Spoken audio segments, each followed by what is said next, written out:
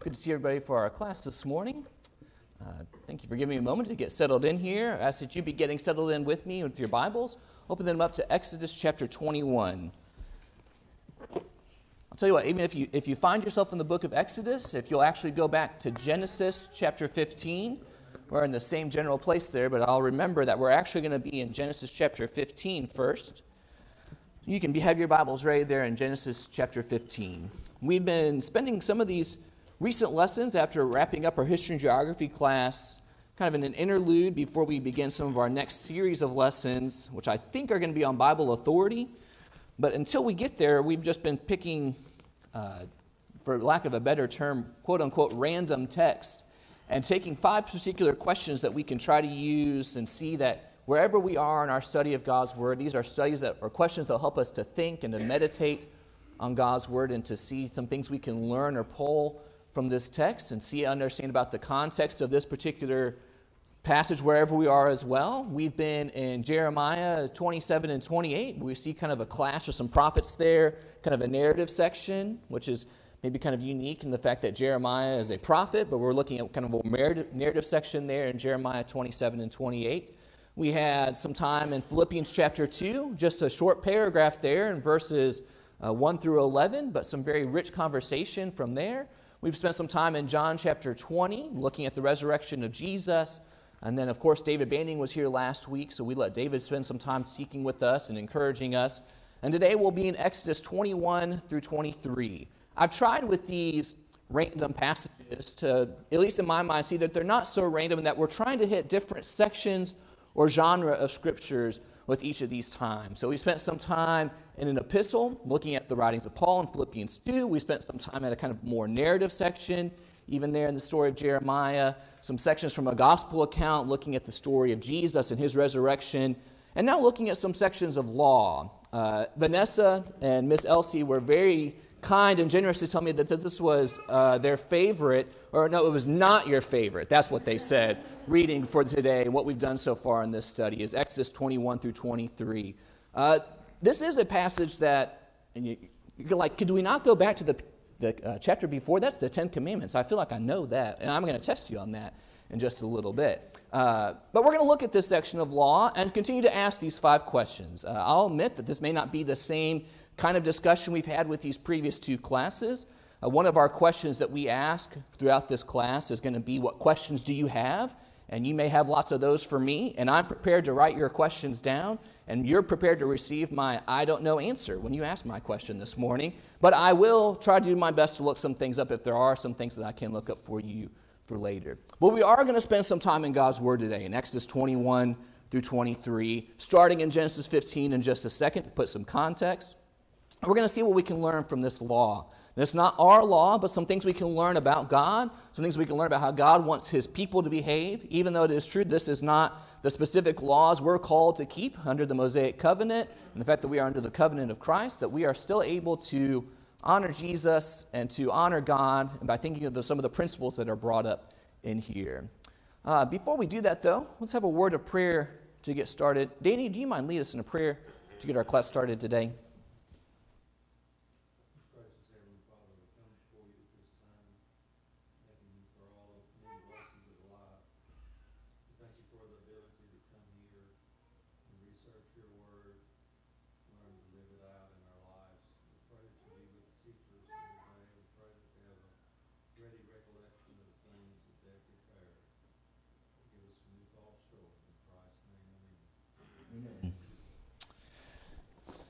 So we're going to be in Exodus 21 through 23, but I've asked you to start in Genesis chapter 15.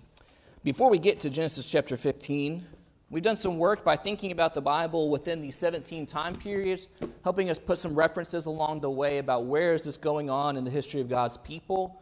So, for those who have been in some of our history and geography class and still wanting to maybe implement and keep some of those outlets of the spider web in our mind and keep those supports, where are we our 17 periods of biblical history.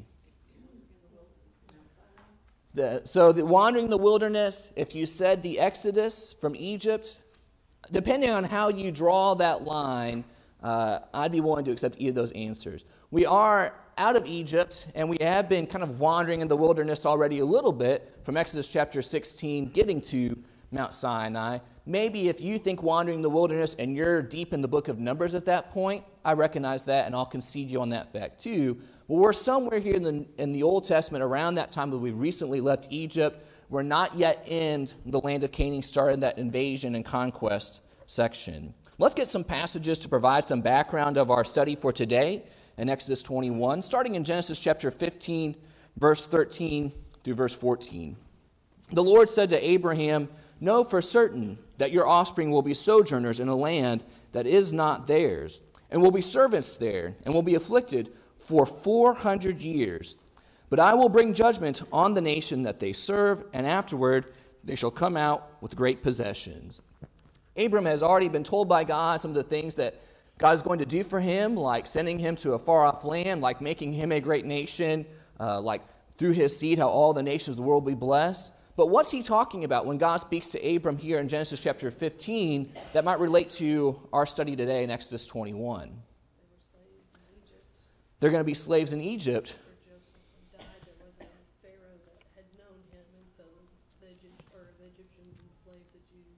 And so Becca's already been reading into our next section of Exodus 1 5 through 8. We go to the book of Exodus now. And let's get some passages from Exodus to set up our law section for today. Exodus 1, verse 5 All the descendants of Jacob were 70 persons.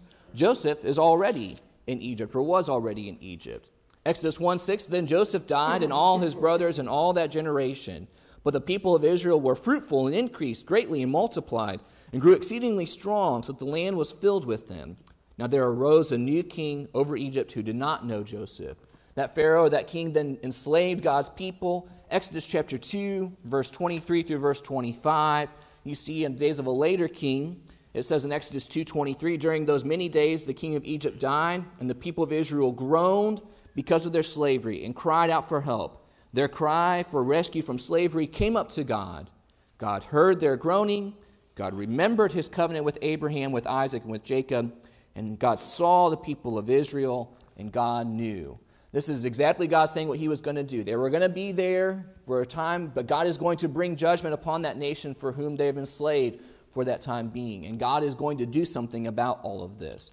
In Exodus chapter 6, verse 1 through verse 8, just to pick a couple of things from out of this text here. At this point, Moses has already gone to Pharaoh. After God tells Moses, you know, you need to go to Pharaoh and ask to let the people be brought back and to let the people go. Maybe Moses kind of has this expectation of he's going to go and things are going to go well. There are some things that are talked about in when God speaks to Moses the first time. I'm going to harden Pharaoh's heart. That's exactly what happens in Exodus chapter 5. Moses comes in and says, Let the people of God go. And Pharaoh says, Who is God? Who is the Lord that I should serve him? As the song says, No, I will not let them go. But more to the text of Scripture, he says, Who is the Lord that I should serve him and listen to his voice? And so he doesn't let the people go. Which you could imagine if you're the Hebrew people, which that brings more oppression and more conflict and more difficulties into your life, you're probably not happy with Moses right now. And you may even, uh, this might be us a little bit looking back into the situation that's going on, so take the opinion for what it is. You might even feel a little bit upset with God and the fact that you he sent Moses here to say that there's going to be this great deliverance, and everybody's excited at the end of chapter 4. And then by the end of chapter 5, they're thinking, why did you do this? Why did you make things worse for us here? So God picks up and speaks for himself and is defending himself, and that's probably not even the best way to phrase it, but God speaks to Moses and is encouraging Moses and the people in Exodus chapter 6. We pick up in verse 4. I established my covenant with Abraham, Isaac, and Jacob to give them the land of Canaan, the land which they lived as sojourners.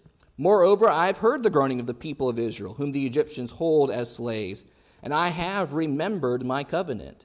Say therefore to the people of Israel, I am the Lord, and will bring you out from under the burdens of the Egyptians, and I will deliver you from slavery to them, and I will redeem you with an outstretched arm and with great acts of judgment.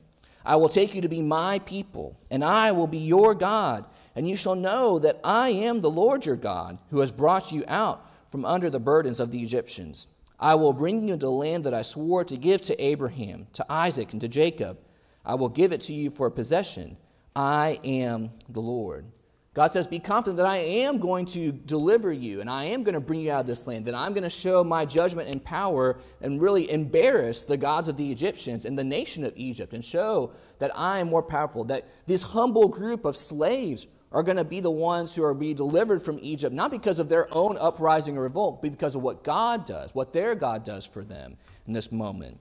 Moving over to Exodus chapter 12, we see the beginning of some of that in Exodus chapter 12, verse 33 through verse 36.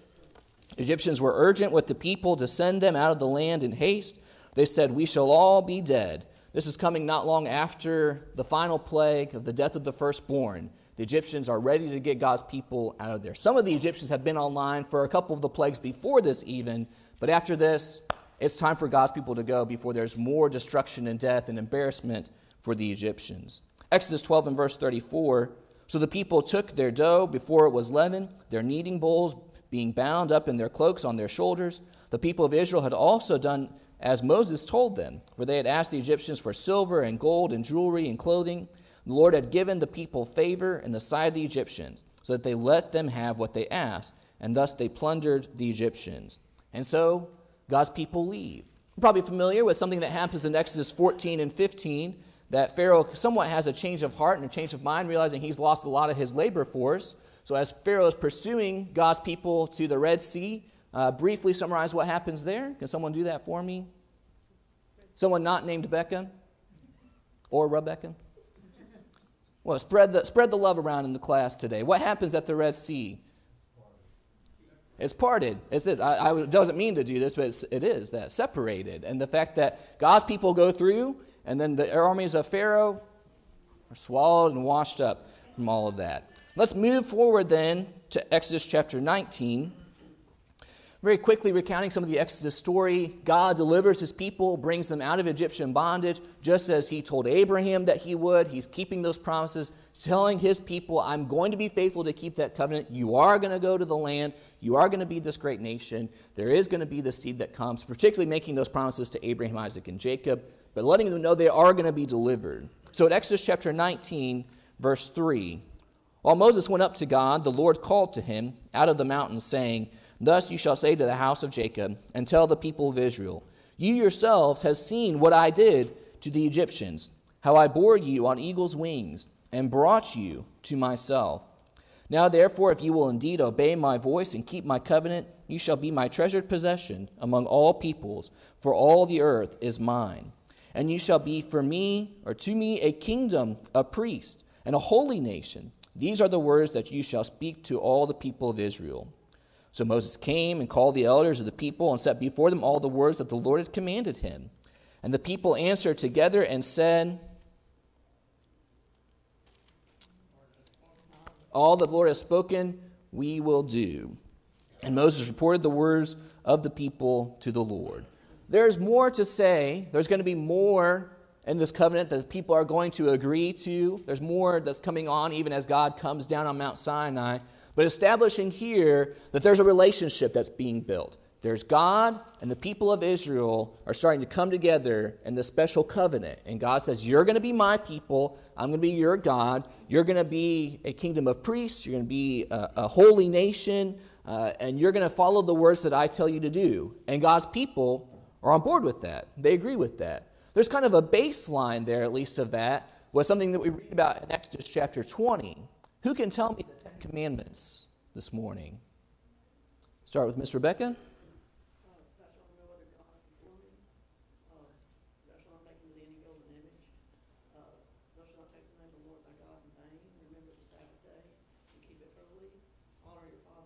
All right, let's pause. She's got five. Someone's got to pick. I've seen some of you vocalizing along. Let's maybe move to this side of the room. Someone pick up with number six. We've got honor father and mother.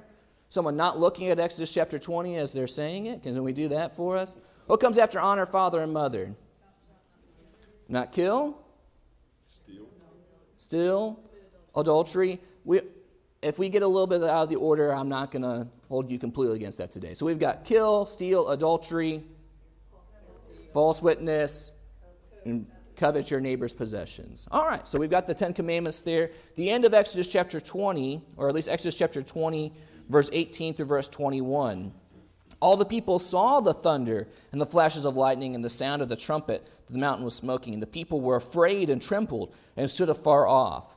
Before, God told Moses the things he wanted the people to know, and the people responded and said, Yes, we're on board with that. Now God is speaking, and it seems like it's not just Moses, but everybody is seeing in that cloud and fire and thunder and lightning that's there descending on Mount Sinai what God is saying. And so from there, uh, verse 19, they said to Moses, You speak to us, and we will listen, but do not let God speak to us.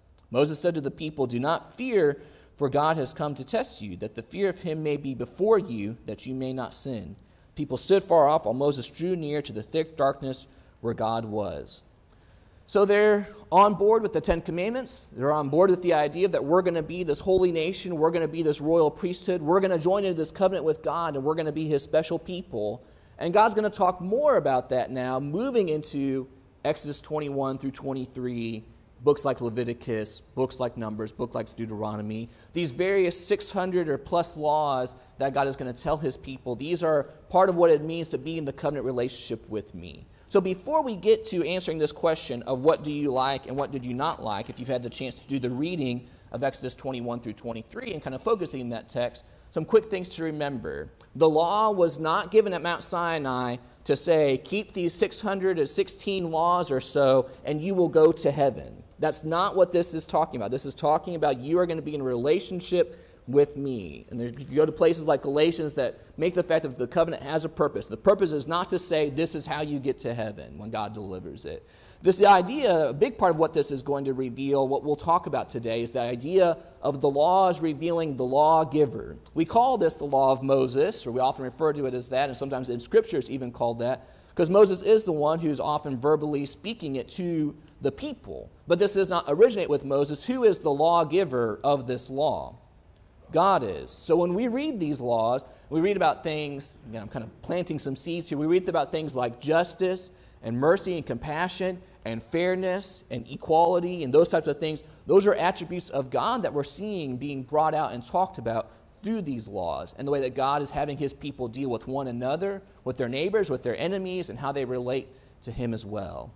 So, let's get into Exodus 21 through 23 for the last 20 minutes of our class or so and spend some time talking about some of these questions. Maybe different from uh, John 20 or from Philippians chapter 2. Maybe you interpret this question a little bit differently, I'm not what do you like, but what stands out to you. That's a fair assumption or a fair way to look at this question. What do you like about this text, or what stands out to you about this text? Glow, is that a hand to make it, Miss Rebecca?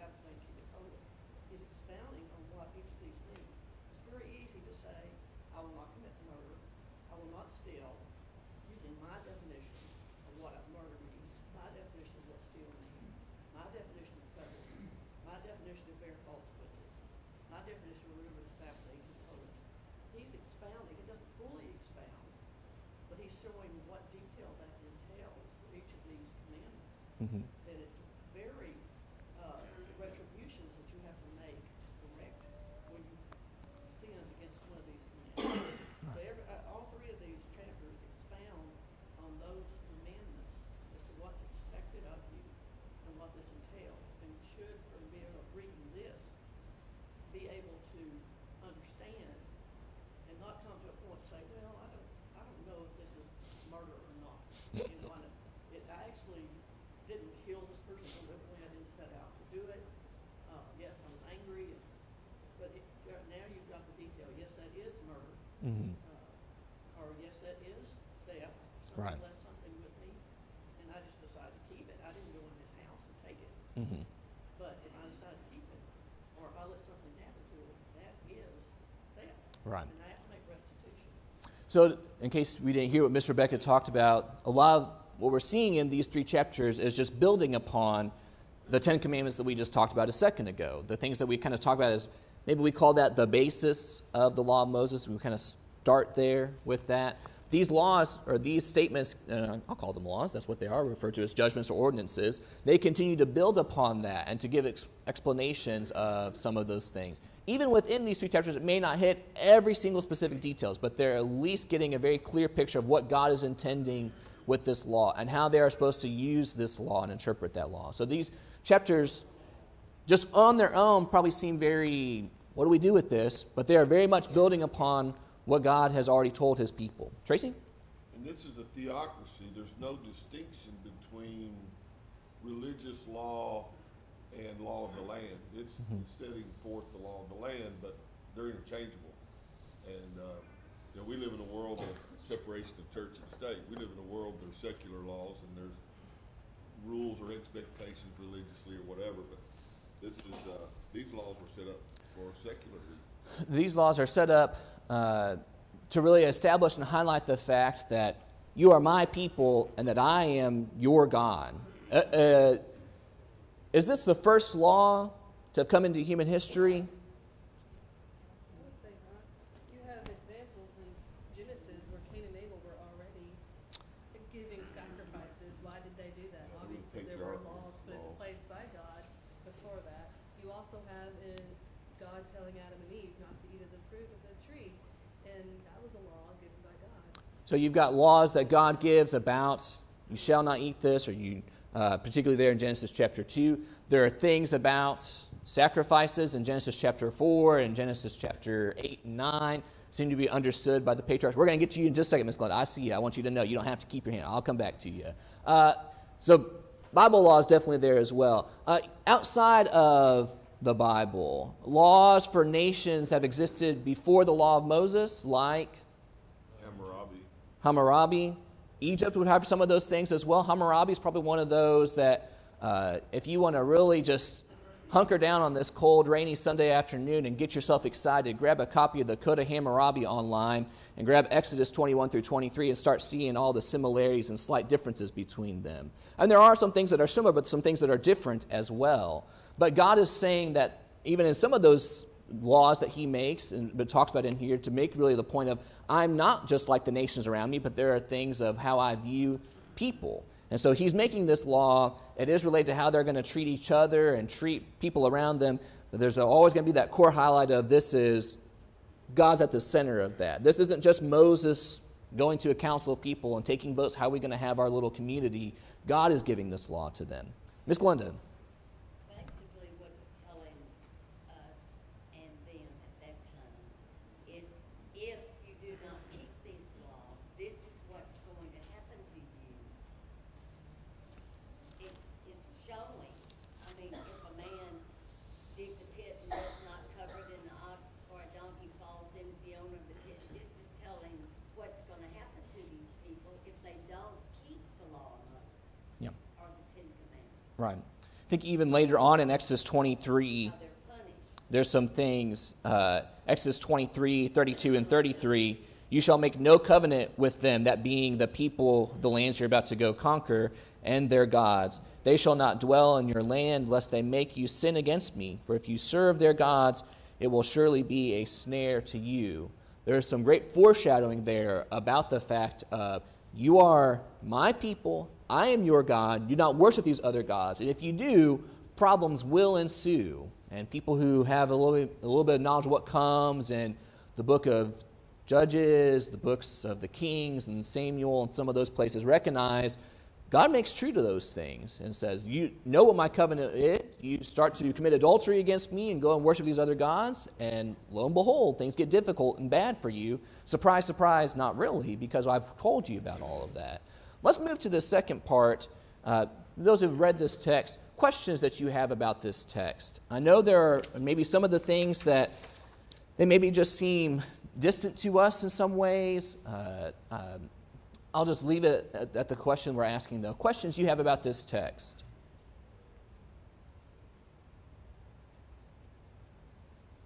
And we don't have to have anything about that, so if not, then we can get into some other sections. But I want to make sure that there's this option in specifics that I can try to clear up for folks.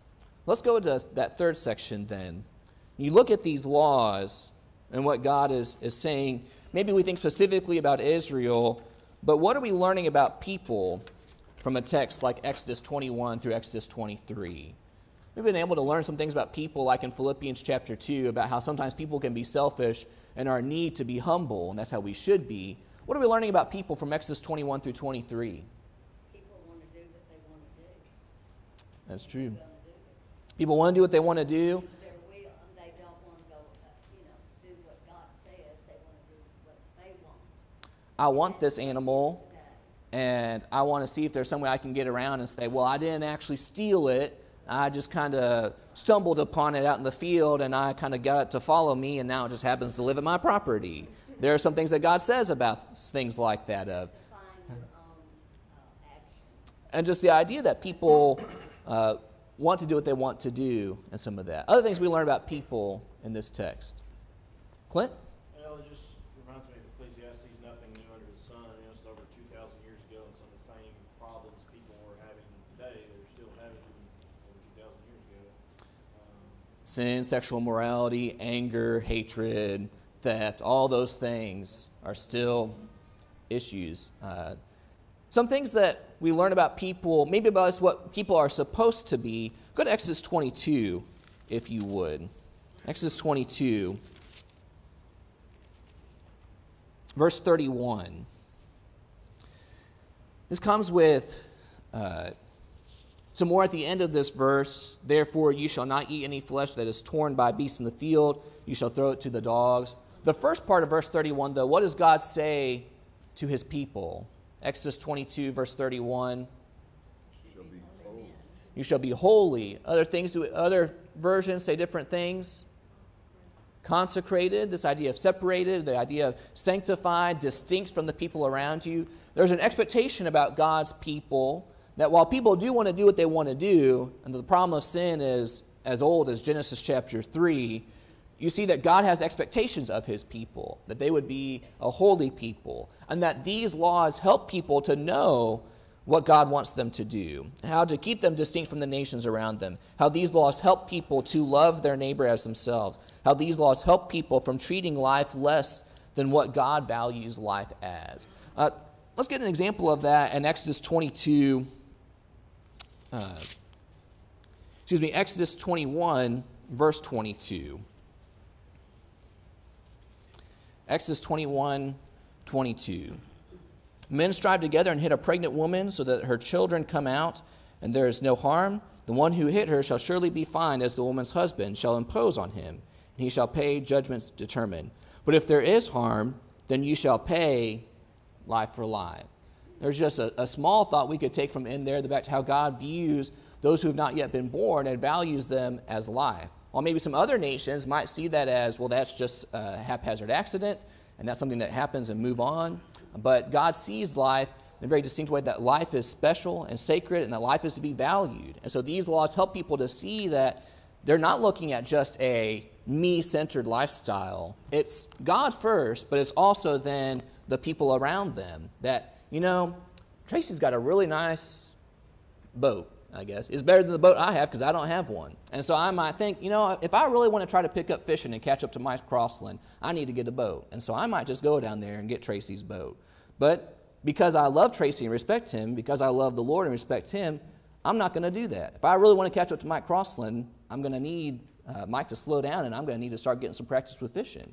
Um, but all of that to recognize and see that I shouldn't take things from people because Tracy's my pers- is a person, my brother, and I love him. And there's with people's lives, with people's possessions, with people's animals, just the way that we treat other people. Is to acknowledge we learn about people that I want to do what I want to do, but I need to think more about how this affects the people around me. I mean, the, the people doing what they want to do is as old as the beginning of time. Hopefully, this text is teaching us some things about people and what they should be and how they should be, some principles from within all of that. Let's go to this idea. What does this text teach us about God? He's fair and just. He's fair and just. He, wants us to, he loves us, so he wants us to treat each other like we love others too, just like God us. He's fair and just. He wants us to, to love kind of similar to the way that he loves. Other things we learned about God? Is that the start of a hand, Miss Rebecca? Oh, okay. Go ahead. It doesn't actually say it here, but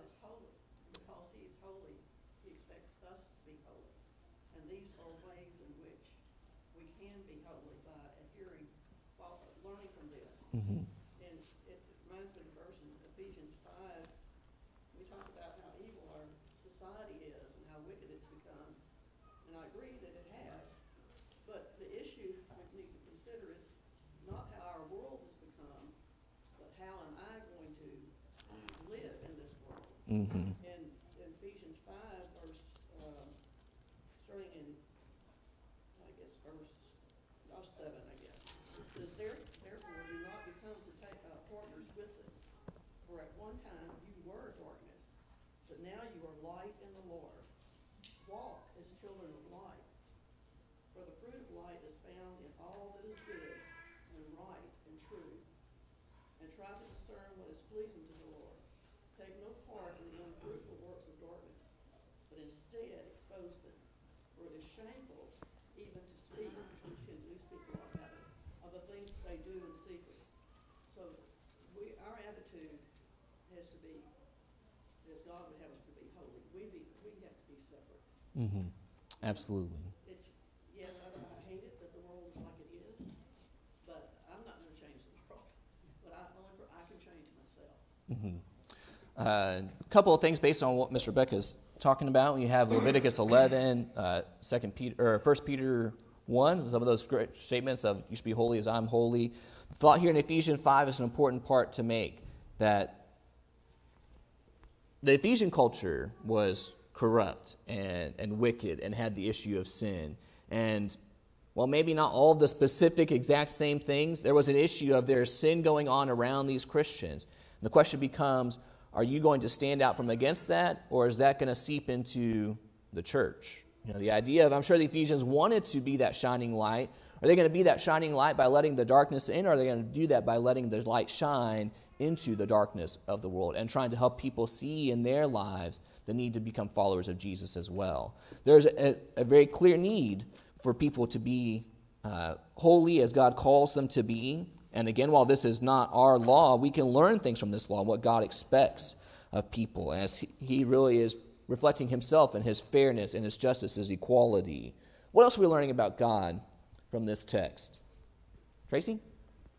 Galatians three talks about the Old Testament being a schoolmaster and kind of the training for the kingdom that is to come.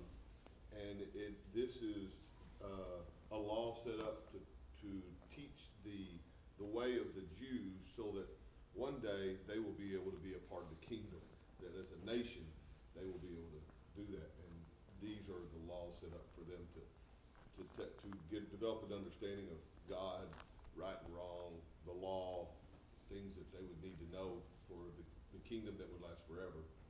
So Tracy's talking about Galatians 3.24 there. Some of your versions might say guardian uh, in Galatians 3. So then the law was our guardian or our schoolmaster until Christ came that we might be justified by faith. And just fulfilling God's plan, uh, bringing people to himself. He starts that with this special relationship with Abraham's family, working that through the time that Jesus comes, but helping them to see that I'm rescuing you. And that's what I'm going to do with all nations, but I'm starting with you. Uh, something we've tried to point out before is the fact, I think it was when we were in Philippians chapter 2, uh, what a great example about God's willing to go and rescue people than people like Israel. Uh, we know some great people from Israel's history. We can talk about Samuel's and David's and Moses's and prophets and uh, women like Abigail and people like that. But you also know, look at Israel's history as a whole, and they're just some of the most stubborn and uh, rock headed people who have ever walked on God's earth. How often they depart from his commands, and how often he goes and, and rescues them and calls them back to him through the message of repentance. How he shows them their need to follow him. And he's making that point to the world as Jesus comes and says, I'm fulfilling what needs to be done for all sin. Now everyone come follow me. Uh, the law is helping give an example leading up to that. Glenn was at the start of a hand a second ago for things. Clint? Yeah, I was just thinking, you know, as far as learning about God, you know, today there's a lot of confusion in the, in the religious world about what God expects and, you know, faith, faith without works, faith with works, and all that kind of stuff. Well, you know, you see a lot about God and, and how he expects actions and people to act a certain right way, and there's consequences for not acting a certain way. Um, and we recognize that same principle applies in the New Testament, you know, but there's so many Christians out there that think it's, you know, only about their feelings and your faith and you know your sins and your actions aren't really that big a deal to God. You know, if you believe and all of that, you know, so you see probably even deeper than uh, in the New Testament about God's um, justice and, and how He feels about people obeying His law. Uh, point we've been making through our Deuteronomy series, and I think a similar point you could make here, really in any of these law sections, whether it's Exodus, Leviticus, or Numbers, or other sections like this moving on, is that God is enacting a covenant with people. He's building a relationship with people. He's the one who extends the hand of that relationship.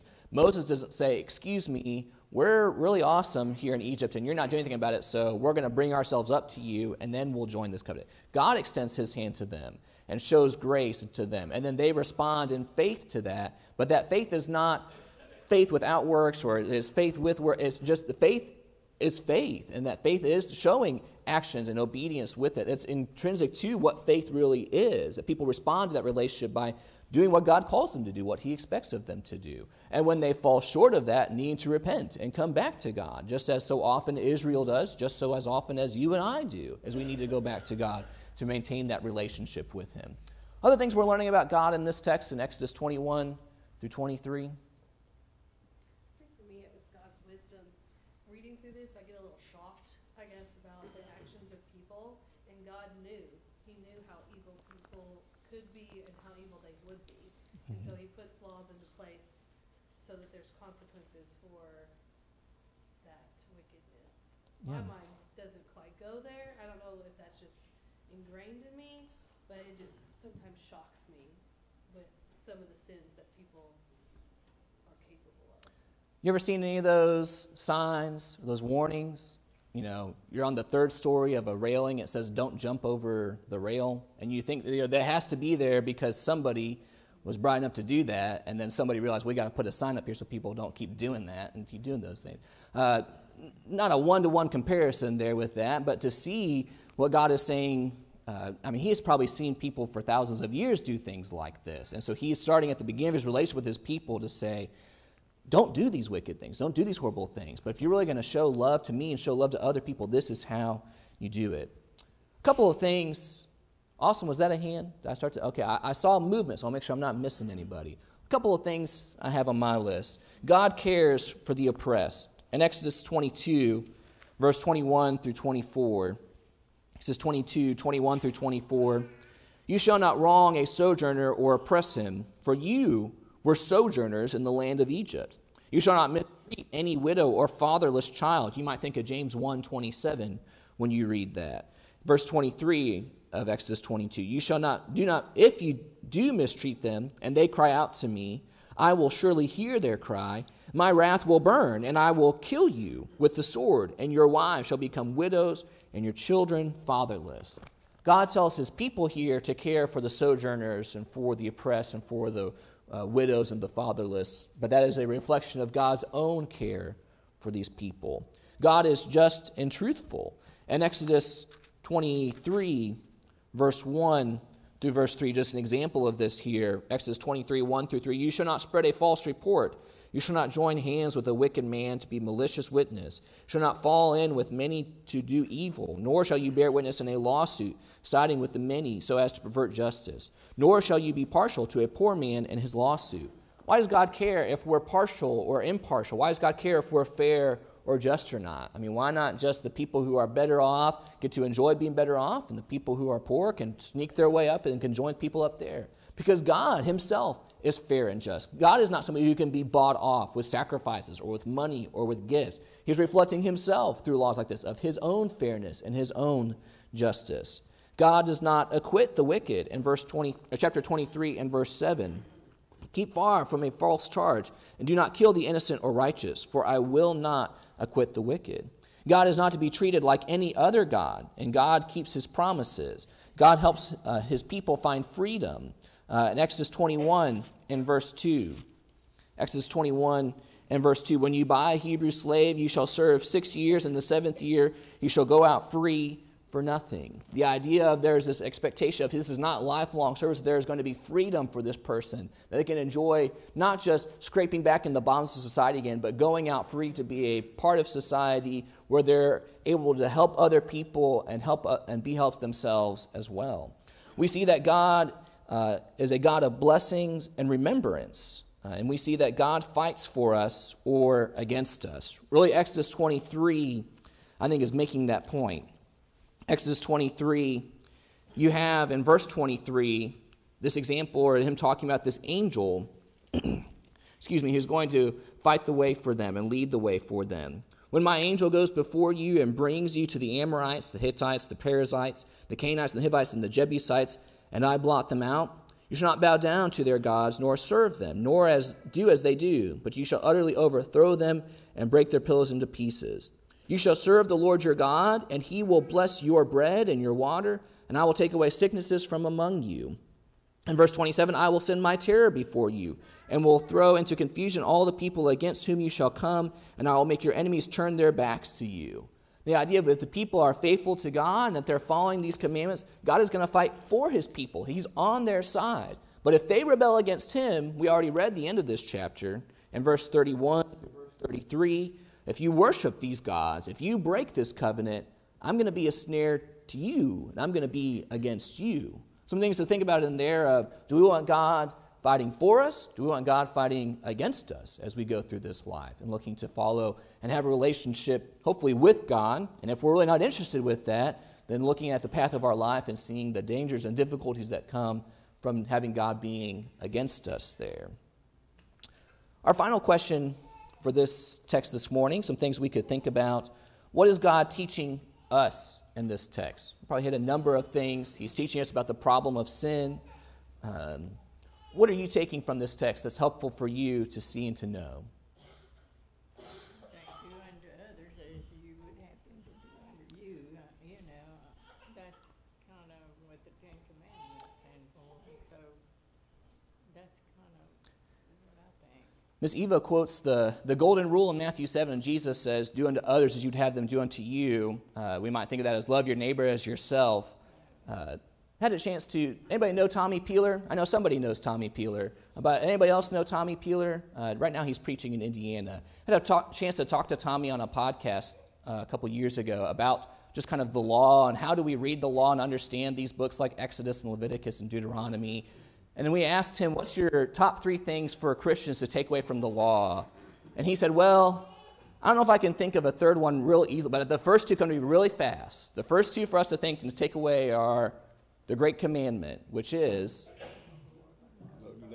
love the Lord your God with all your heart, soul, mind, and strength. And the second is like it love your neighbor as yourself. I think anytime we read sections like Exodus 21 through 23, anytime we're reading Leviticus or Numbers or Deuteronomy, those thoughts need to be in our mind. Not so much of, do I have to keep this? How do I get out of this? What am I still keeping and applying? Can I put this law out, but I can I emphasize? Think about that idea of what principles am I taking that help me to love the Lord with all my heart, soul, mind, and strength? What helps me to love my neighbor as myself? And there's stuff in Exodus 21 through 23 that helps with that. That helps us to see that the law reveals the lawgiver. If I had something else to, to think and to add to that, the idea of the punishment fits the crime. In Exodus 21, verse 23 through 25, it says in Exodus 21, 23 through 25, if there is harm, then you shall pay life for life, eye for eye, tooth for tooth, hand for hand, foot for foot, burn for burn, wound for wound, stripe for stripe. Why does God say all of that? I mean, we're probably familiar with that. People quote stuff like that all the time. Why is God making that statement to these people? Fear is not a bad thing. To fear. To fear is not a bad thing.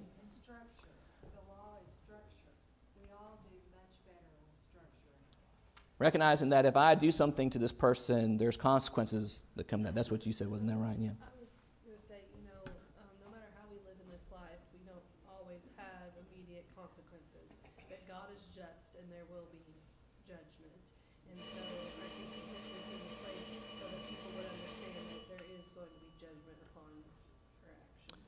I think this text teaches us that God is just and fair. We've made that a few times. I'll have more to say about that in just a second. Miss Rebecca? Certainty shows judgment, in his, but in chapter 23, towards the end, he shows the reward and his great love, what he's going to do for you if you do obey him. Mm-hmm. He's going to drive out the nations before them. He's going to bless their bread, bless their land, their animals, their family, the fertility, all those kinds of things. Mhm. You know, they, so yes, there's punishment equally on the other side, maybe more so when, because if we don't deserve it, there's the mercy and the grace of God That's right. and what he's going to do for us if we follow.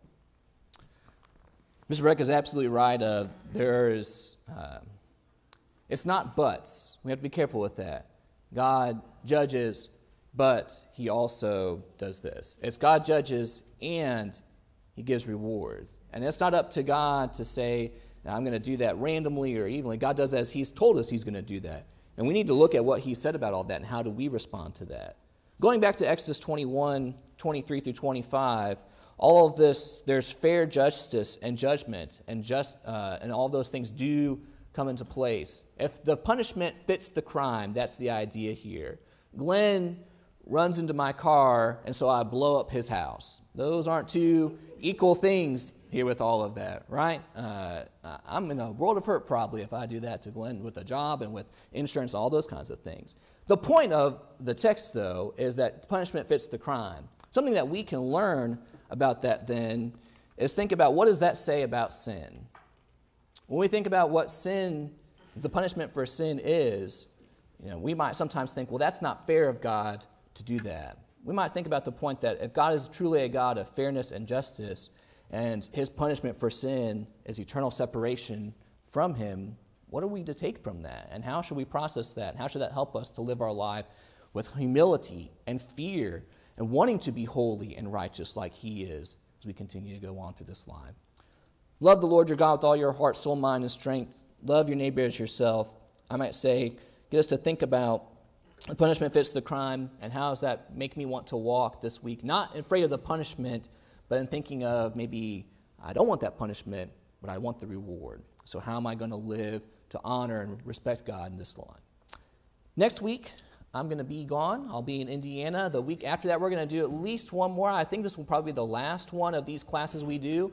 We're moving from epistles and gospels and sections of prophets and sections in the law here, going to a psalm. Uh, so I have a handout. So there's just a few here. If you like something, have something to write on, you can get one of those in just a second. If you can remember Psalm 102 for two weeks from today, uh, we'll use these same five questions and wrap up with that. But we'll spend some time in that psalm looking at what do we like, what questions do we have. We're learning about people and God, and what is God teaching us these particular texts. Hope these classes have been helpful. I hope that whether or not we remember all the things from these classes, and I hope that we do and apply them, hopefully we can at least recognize that these questions are helpful. And you know, the next time you open Esther, or you open Matthew, or you open wherever, you can use these questions in your own reflection meditation of God's Word. Uh, that's all that I have. We've probably got another minute or two before things continue on, but we'll close our class for this morning. Thank you all for being here and for your participation and comments today.